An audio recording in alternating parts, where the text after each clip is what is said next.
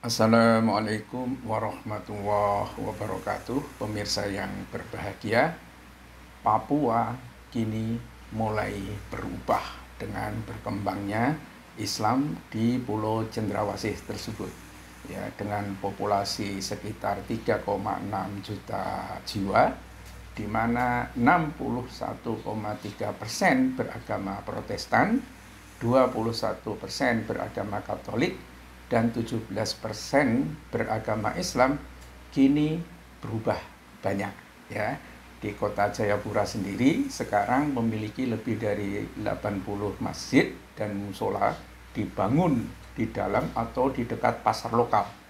Jadi musola-musolanya itu hampir di setiap tempat ada sekarang itu ya seperti tren-tren yang ada di Jawa dan semua daerah pemukiman serta kantor pemerintah dan tampaknya kantor pemerintah memang tidak perlu dipakai gereja.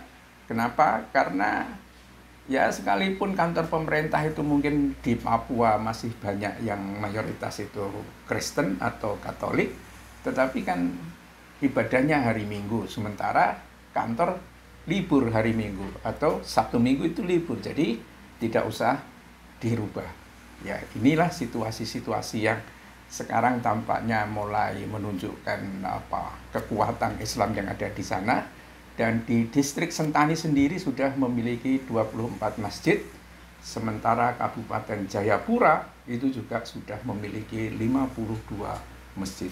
Dan inilah yang kemudian oleh satu laporan dari The Union of Catholic Asian News UCA News ya, ya uh, mengatakan bahwa Islamisasi di Papua mulai mengkhawatirkan umat Kristen. Ya, laporan itu kemudian juga didukung oleh tokoh-tokoh perempuan dari LSM Kristen Papua.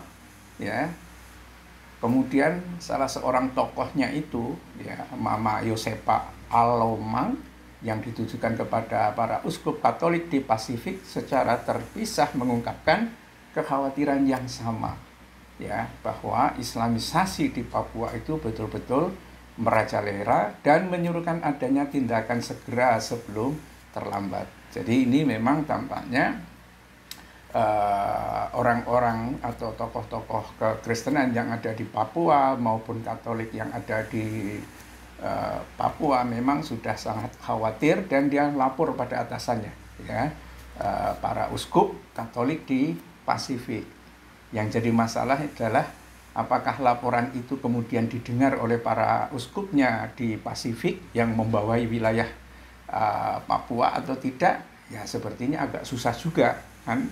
Uh, realitasnya saat ini Katolik ya dan para petingginya termasuk para uskup karena uskup ini merupakan bagian dari tahta suci Vatikan disibukkan dengan persoalan-persoalan uh, internal yang membawa Katolik itu menuju ke runtuhan dan tampaknya sangat berat bagi mereka untuk memikirkan apa yang ada di luar itu ya. Bahkan sekedar untuk mempertahankan umat Katolik yang ada saja ini sangat susah. Dan biasanya yang seperti ini juga akhirnya uh, dibiarkan saja. Ya biarin saja memang takdirnya seperti itu. Inilah gambaran-gambaran yang tampaknya muncul di uh, dunia kekristenan ketika menghadapi satu islamisasi yang terjadi di Papua. Memang jumlah orang yang pada akhirnya masuk Islam dari Papua itu luar biasa.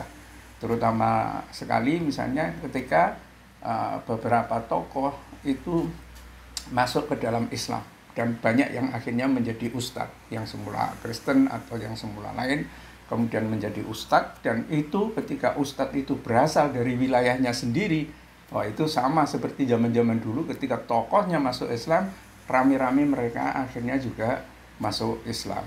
Nah, ya, The Union of Catholic Asian News ini sebuah situs berita Katolik independen yang terkemuka di Asia dalam laporannya berjudul uh, Christian in Papua Fear Growing Islamization antara lain mengutip pendapat sejumlah warga dan tokoh masyarakat uh, di Papua ya Yan Kosi ya, misalnya yang tinggal di Jayapura selama bertahun-tahun mengatakan sebelum ini tidak terganggu oleh pengaruh luar.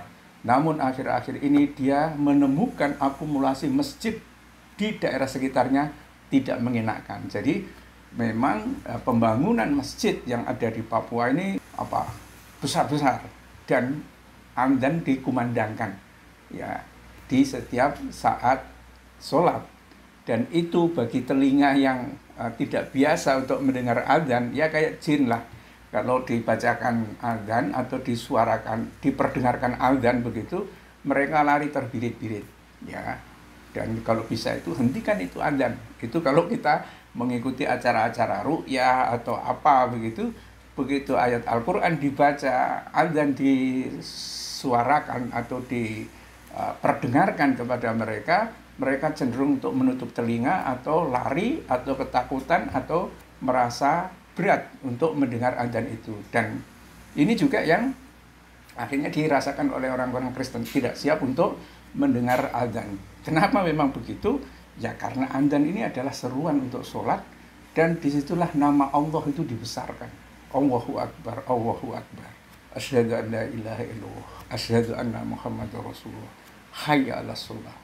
Hayya ala falah. Itu komatnya. ya.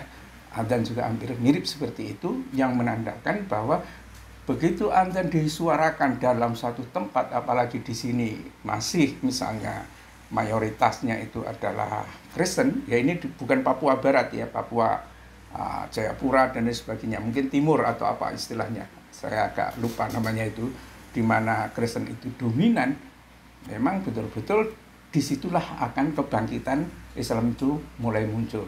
Sama seperti ketika umat Islam sudah mulai diizinkan untuk uh, mengumandangkan azan di negara-negara Eropa.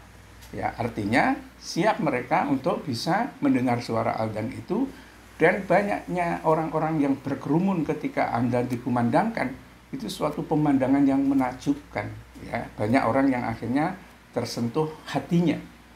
Nah apakah Papua bisa akan mengikuti Eropa begitu karena memang yang disebut dengan Papua apalagi Papua Timur itu betul-betul relatif ya tidak tersentuh oleh dakwah umat Islam pada masa-masa sebelumnya. Sekalipun sejarah menunjukkan ya di bagian-bagian pesisir di wilayah Papua itu sebetulnya sudah terjadi islamisasi atau kedatangan Islam itu tahun 1200-an.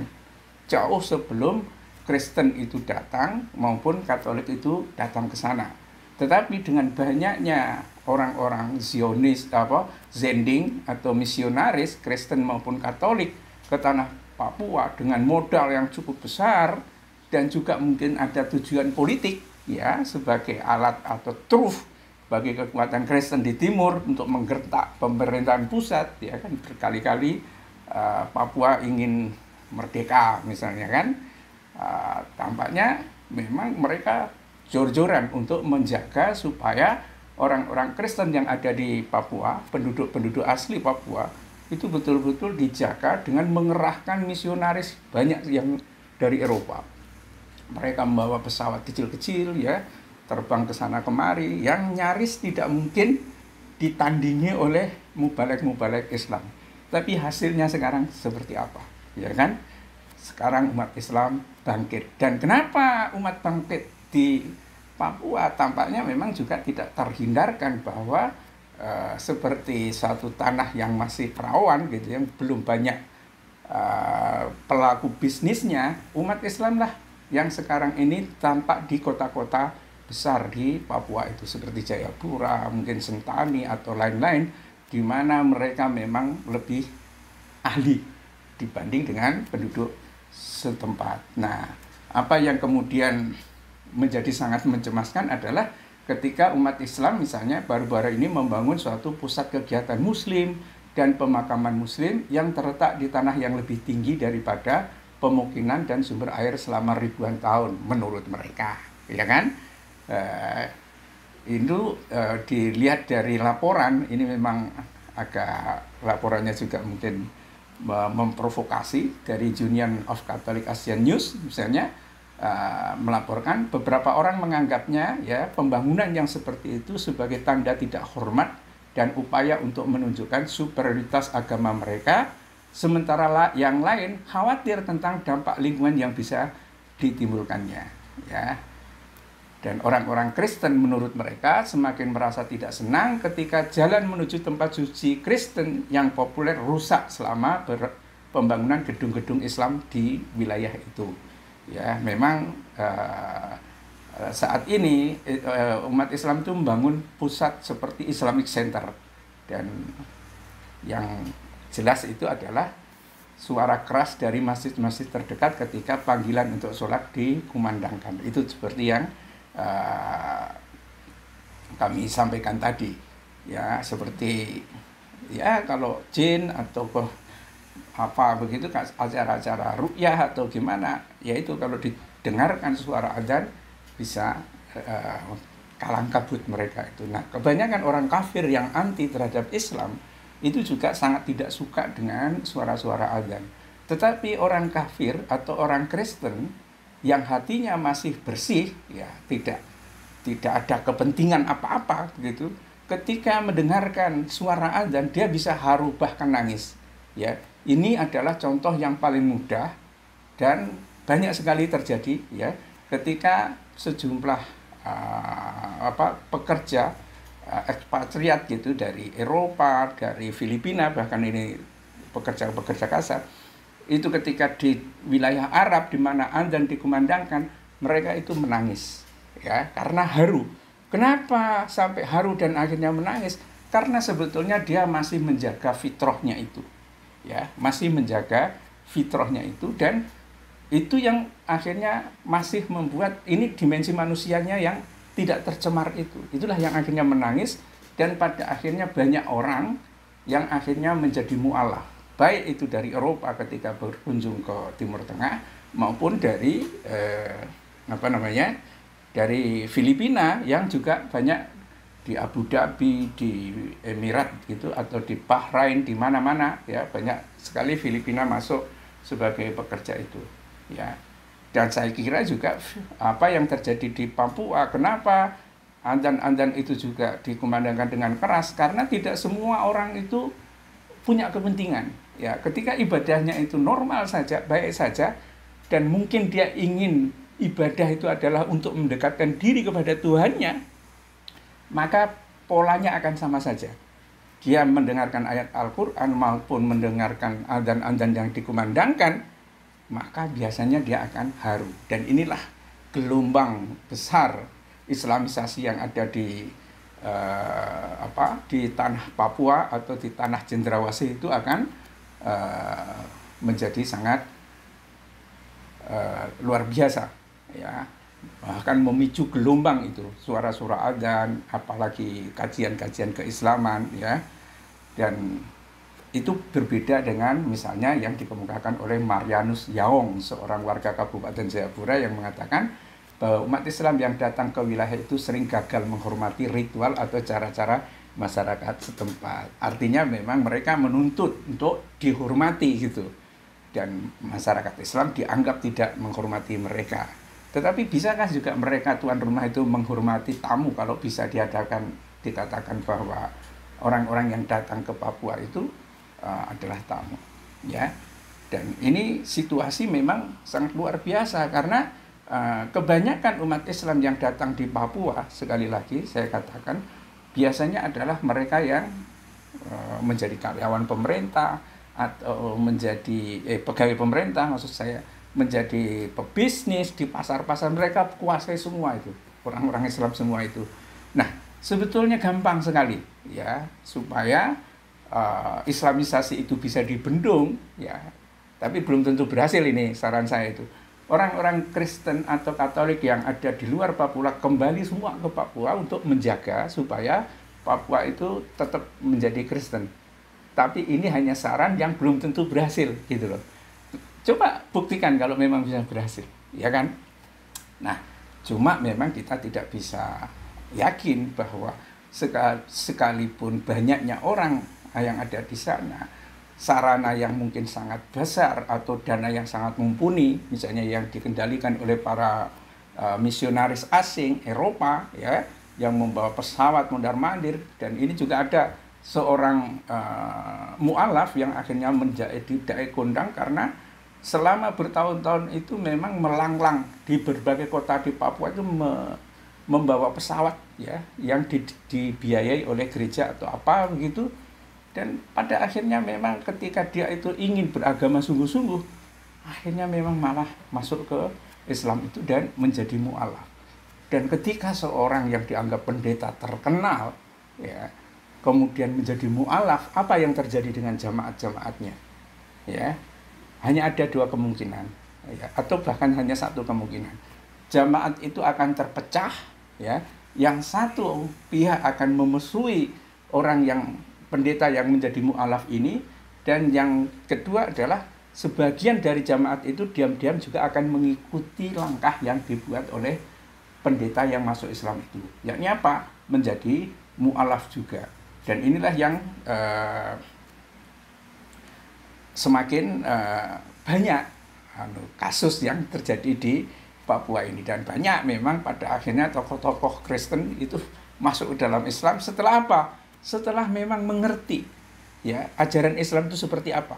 Sejauh ini agama Islam yang dikenal atau Islam yang dikenal di Papua itu melalui media-media yang memang uh, dibangun berdasarkan pada uh, semangat anti-Islamnya itu ya Islamofobia atau stigmatisasi terhadap nilai-nilai Islam. Jadi begitu mereka dengar Islam, wah itu teroris. Tapi begitu mereka ngerti tentang Islam dan bagaimana orang Islam ketika orang-orang uh, apa Papua ini secara langsung berinteraksi dengan umat Islam dan uh, akhirnya tokoh mereka itu juga masuk ke dalam Islam, ya sudah ibaratnya bendungan yang dijaga ya itu mulai retak dan akhirnya ambrol habis itu nanti.